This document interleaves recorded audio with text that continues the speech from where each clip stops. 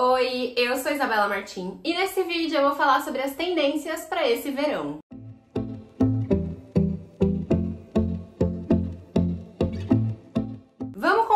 Esse é um vídeo muito aguardado, tanto por mim quanto por vocês, que é saber as tendências que vão fazer muito sucesso nesse verão, verão 2023-2024. Por isso, eu separei todas as tendências que vamos encontrar muito em alta nesse verão. E eu já vou começar falando que tudo que a gente viu no verão passado meio que você já pode esquecer. Porque no verão passado a gente viu muitas cores, cores vibrantes. A moda dopamina continuou em alta, fazendo muito sucesso. Então, muitas combinações ousadas de cores marcaram o verão 2022-2023. Porém, nesse verão teremos justamente o contrário. O que vai prevalecer é o minimalismo e as cores mais neutras, por incrível que pareça. Então, vamos começar esse vídeo falando sobre alfaiataria. Sim, vamos encontrar a alfaiataria também sendo usada no verão. A alfaiataria é aquela modelagem mais clássica, um pouquinho mais social. E claro que vamos encontrar em peças com a carinha do verão, só que com o material e a modelagem mais tradicional. Então, por exemplo, saias, shorts, coletes, conjuntinhos, com a modelagem e o caimento em alfaiataria. Então, mesmo sendo um pouco diferente, vamos encontrar a alfaiataria nesse verão. A próxima tendência, que essa é um pouquinho polêmica, tem gente que não gosta, mas também tem quem ame, são as bermudas. As bermudas vão continuar sendo usadas demais nesse verão. E aí pode ser tanto em conjuntinhos, na alfaiataria, como também em opções em jeans e materiais mais flexíveis e levinhos. Agora, se você não é tão fã do comprimento das bermudas, tem uma outra tendência, que essa também é polêmica, e eu já falei aqui no canal, que é a calça capri. Calça capri é aquele comprimento de calça que é um pouco abaixo do joelho. Ela não chega aos seus pés, mas também não é acima do joelho, então ela fica ali no meio do caminho.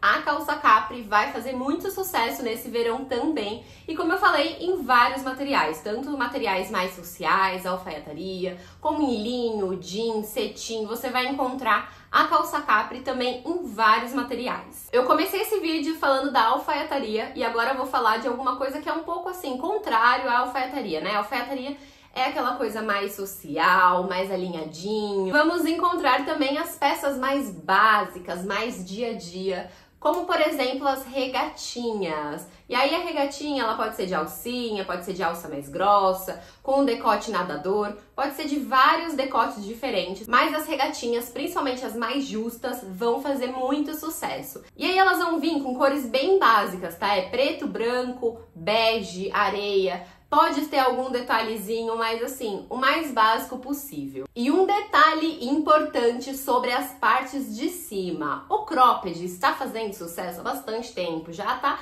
praticamente incorporado aí no nosso dia a dia, né? A maioria das pessoas já ficaram adeptas ao uso do cropped, mas ele não vai sumir mas ele vai ficar um pouquinho de lado nesse verão, por incrível que pareça. Então, um comprimento um pouquinho mais alongado vai fazer sucesso, que na verdade o alongado é o que a gente sempre usou a vida toda antes do cropped, sabe? Então, esse comprimento vai fazer bastante sucesso. A gente vai encontrar nas regatas, no tomara que caia, em várias modelagens diferentes, esse comprimento um pouquinho maiorzinho. Isso acontece porque a calça de cintura baixa continua muito em alta. E aí, como a cintura ficou lá embaixo, a gente resolveu compensar ali com a camiseta. Então, puxando a camiseta, ao invés de cropped com a cintura alta, agora a camiseta mais alongada e a cintura mais baixa. Além das modelagens justas para essas camisetas com um comprimento um pouquinho maior, também vamos encontrar as batas, que são aquelas peças com modelagem mais ampla, mais soltinha, principalmente regata bata, vai fazer muito sucesso. Outra peça, que essa eu também já falei para vocês com antecedência,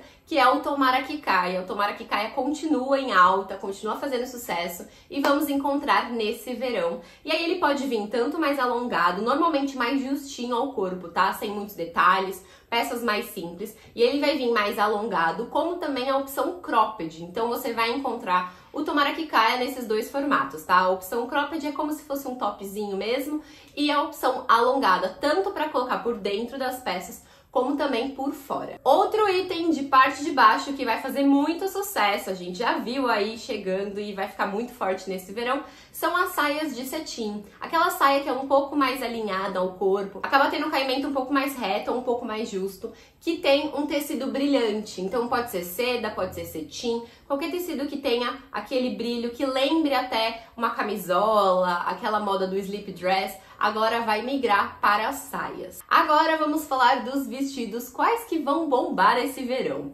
Temos aí os vestidos mais alongados, os vestidos longos e midi, mas aquele midi que é quase um vestido longo, sabe? E aí teremos duas vertentes, os mais justos, que são aqueles bem basiquinho, que fica justo, que também é conhecido como vestido coluna, porque ele é realmente uma peça única, assim, mais retinha, que vai ficar alinhada no seu corpo, sem nenhum mistério, normalmente de regata, mas também pode ser encontrado com manga curta. E em contrapartida, teremos os vestidos estilo bata, que é aquele vestido normalmente encontrado regata, que é mais solto, que traz um ar mais romântico, enquanto o vestido coluna traz um ar mais sensual pro look, esse outro vestido bata traz esse ar mais romântico. E agora eu vou falar para vocês das cores. Tudo isso que eu falei para vocês, vocês podem imaginar assim de várias cores diferentes, né? Mas não podemos esquecer daquilo que eu falei bem no comecinho do vídeo, que esse verão vai ser minimalista, ao contrário do verão passado em que as cores predominavam,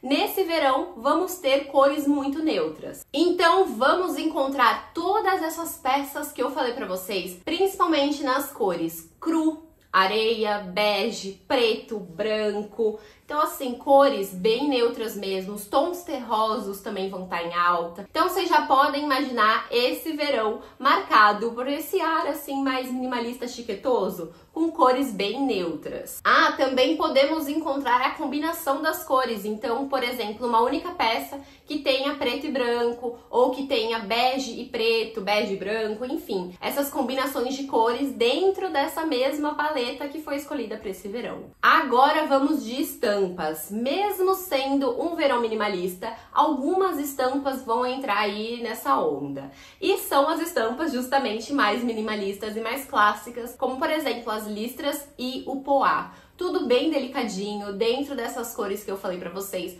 Podemos até encontrar um pouquinho de vermelho aí nessas composições, mas normalmente essas cores mais neutras mesmo são as que vão prevalecer. Outra estampa que também vamos encontrar, principalmente em parte de baixo, é aquela estampa de lenço, que é um borro chique, com um material mais cintilante, mas assim, nada muito colorido, nada muito chamativo, tudo mais neutro possível. E para finalizar esse vídeo, temos os tecidos. Nesse verão vamos encontrar os tecidos um pouquinho mais sofisticados. Comentei com vocês sobre as peças em alfaiataria, então vamos encontrar as peças em linho, em cetim, seda, uma coisa assim mais arrumadinha, mas ao mesmo tempo um pouquinho mais fresca, sabe? Nada que fuja muito dessa moda minimalista que chegou forte para esse verão. E aí, o que, que vocês acharam de todas essas tendências? Qual que você mais gostou e qual que você não vai usar de jeito nenhum? Quero saber. Espero que vocês tenham gostado desse vídeo. Se vocês gostaram, não se esqueçam de deixar o like, se inscrever aqui embaixo no canal, porque aqui você também vai conferir o vídeo sobre tendências de sapatos e bolsas para esse verão. Então já se inscreve aqui embaixo, me sigam também nas redes sociais e até o próximo vídeo. Tchau!